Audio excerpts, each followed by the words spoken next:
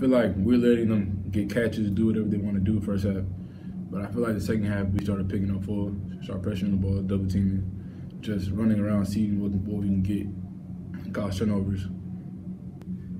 I think uh, we, we, was already falling down with the big margin coming coming into the half, so so we felt like we just we just had to start fighting. I mean, it happened too late, but start better late than never. You can't take no plays off. You gotta you gotta be alert and sharp every possession because every possession really matters. I feel like you got to go through adversity. You got to go through. I mean, to succeed, you got to fail. I mean, everybody knows that. So, so we're just gonna keep pushing.